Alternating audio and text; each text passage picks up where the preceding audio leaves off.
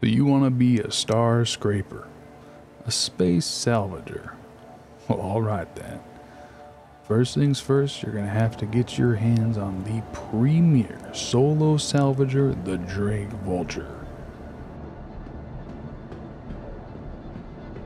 The Reclaimer is a salvager as well, but it's most efficient with a few crew members, boasting a much larger cargo capacity compared to the Vulture.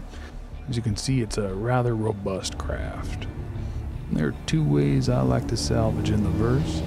The first way is cruising moons, finding hostiles, pirates, or wrecks from previous bounties, and cleaning up, taking all that recycled material composite for myself, and headed straight to the bank. The distance from your target when scraping affects your efficiency. Use the circular readouts on the sides of your HUD just above the arms to find the sweet spot. Press M to activate salvage mode, left alt and scroll to adjust the distance of your beams to one another, G to gimbal your microwaves, and right click changes your attachments that's displayed under the top MFDs. The Tractor beam attachment can be used independently with left alt and 2 using R to rotate, much like the handheld multi-tool. Left all 3 switches to the right armature so you can salvage every nook and cranny. Once you see your filler is blocked, clear your box of recycled materials in the back. You can produce multi-tools and attachments here as well.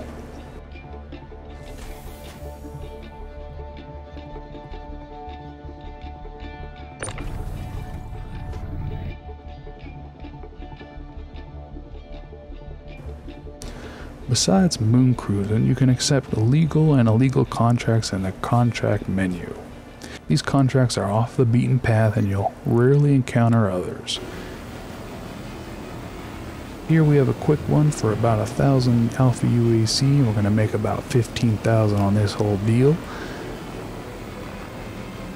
Once the bar is completely empty at the top of your screen, your contract is complete.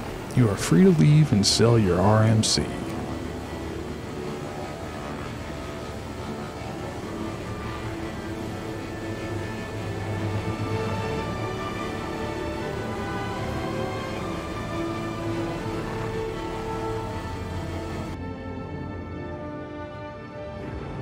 Take it from me, don't get greedy around the salvage yards or you may end up as the latest piece of scrap.